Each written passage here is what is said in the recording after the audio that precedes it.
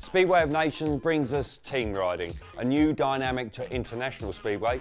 For those of you who've watched lots of league racing, of course, apologies to you, you know this inside out. But for international speedway, it's brand new.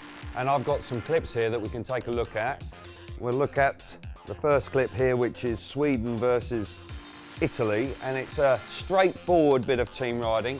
Um, you'll watch as they get away here, the inside rider, Antonio Lindback, just about now. Spot on there, we can just highlight him here and also actually see where he's actually looking towards his partner, who's Freddie Lindgren. And this is a classic bit of team riding because he is now in a position where he realises, as I run it through, that he doesn't want to move out and block his teammate. He allows him to come round. We'll stop it there, and you can now see they're in the absolutely perfect position for a 7-2. That's the new scoring, and they can then get a maximum score. Uh, a straightforward bit of team riding, but crucial for this particular type of discipline. Our second clip is uh, Great Britain up against Russia. It was uh, a couple of years ago from the very first Speedway of Nations, and uh, away they go, and they roar into the first corner. Young Robert Lambert on the inside, uh, who was very inexperienced at this stage, but uh, was riding beyond his years. He's on the inside there. And of course, we've got the world champion coming up alongside him, his partner, Tai Woffinden. We'll run it on through. At this stage, it looks like they're reasonably in charge of this race, but it's, it's a tight one.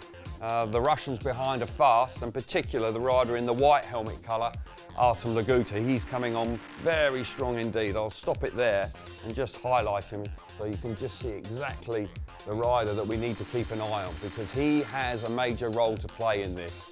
At this stage of the race, we are in charge. We're on seven points, Great Britain. But Tai Woffinden now is beginning to realise that they're under pressure. He's beginning to look around. There's no question that he's feeling the pressure from the rider behind him.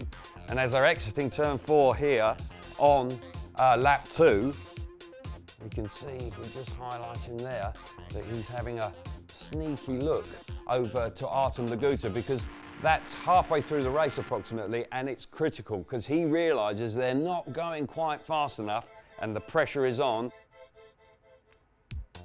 and they're rushing through again. We're just about hanging on there, but it's really tight as we can see.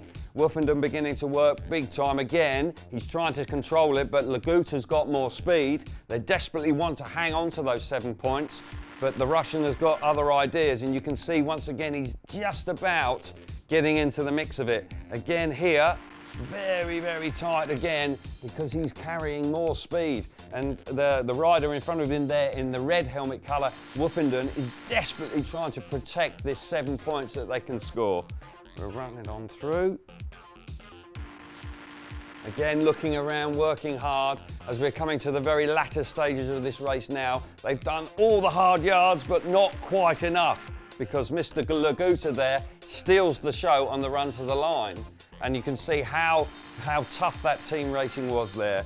And it just didn't quite work out as hard as those Brits worked there because they were trying to control the race, they slowed down, and that allowed Mr. Laguta to come through. So team riding, um, all sorts of dynamics to it.